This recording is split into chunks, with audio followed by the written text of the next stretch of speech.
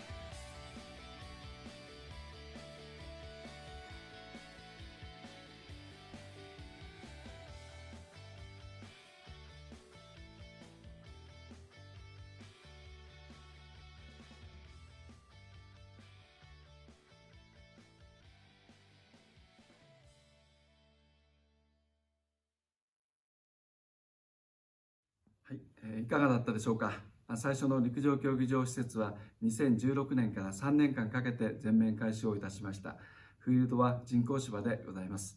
ここにはスリランカでスポーツを頑張っている青少年をサム市へ招聘する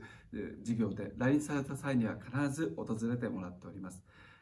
東京大会やスリランカとのスポーツの交流のレガシーとして考えております。来年の東京2020大会の開催に向けて山武市は引き続きホストタウンとしての準備を進めてまいります来年の東京オリンピックの出場を目指しているアスリートやコーチの皆さん事前キャンプ地での交流とスリランカ選手の大会での活躍を楽しみにしております。